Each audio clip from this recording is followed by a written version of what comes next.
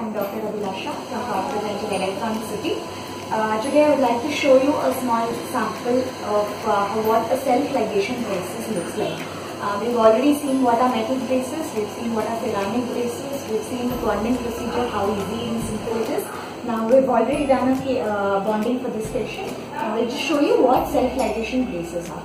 Uh, self-ligation braces are essentially, uh, they are uh, they have under uh, they operate under different kind of mechanics and the regular braces. like this is the self-ligation bracket and this is this the lower part as you can see is the clip this what it does is uh, when I put the wire in the tooth and I push the clip it will uh, apply force on the tooth uh, this is different from a normal bracket in the sense in a normal bracket we'll have to tie an elastic around the bracket to hold the wire in place.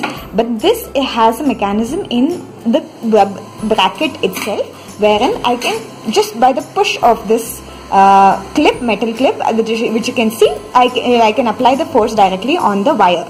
There are two kinds of uh, uh, self-ligation braces, active and passive. They work on similar principles, but uh, they just, uh, there are just slight mechanical features different in both of them. But a self-ligation bracket, what it does it is, it will reduce the amount of friction because it reduces the amount of friction the patient will be more comfortable with this kind of bracket and it will and he will uh, not have much pain also because of because the because of uh, reduced friction the movement also will be slower. He will have less discomfort. He will have less pain. And uh, also the treatment time also considerably reduces because of the constant force which is acting through the help of the clip. Now i will show you how is the wire. This is the wire.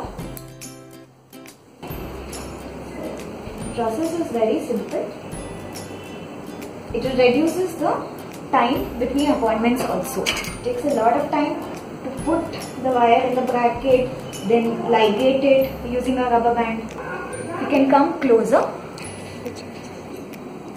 I've placed the uh, wire in the bracket with the help of the plier.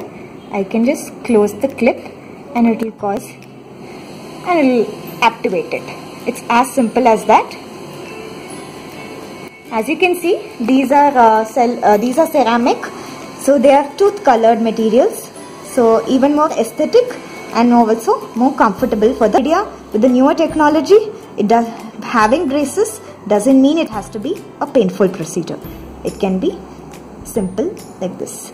We have newer advances which help us in providing a pain-free result to the patient.